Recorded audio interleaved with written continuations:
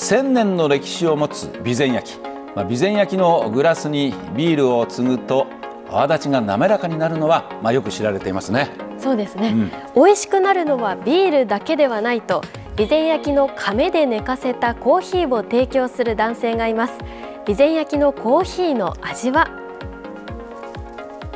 備前焼きに入れておくことによって少しあの雑味に近い苦味成分があの軽減されるので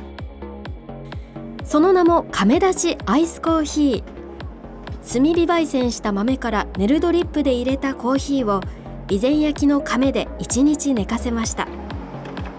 考案したのは移動販売訪問カフェであるスプラウトコーヒーの新面和永さんです。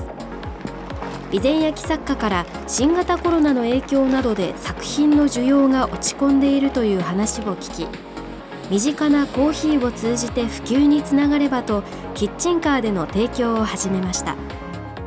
備前焼きっていうのは釉薬を使わないので中にあの小さな気泡というものがあるんですけどもそれが無数にあることによって通気性が良くなって味が少しまろやかになっていきます。備前焼きで寝かした亀出しコーヒーを飲んでみます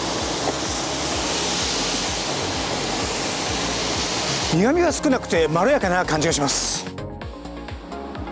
日本の伝統的な工芸品と世界で愛される飲み物の相性の良さに訪れた人も驚きを隠せないようです。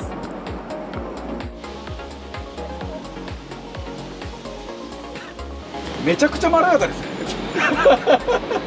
いやこれびっくりしましたね。あの備前焼きで出すところはあの、まあ、よくあるんですけど釜から出すところっていうのは多分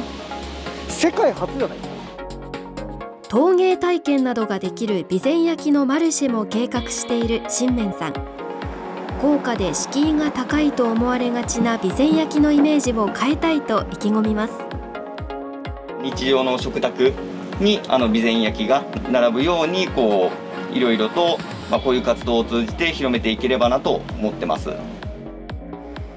備前焼がある日常をコーヒーをその入り口にしようと各地を巡るキッチンカーです。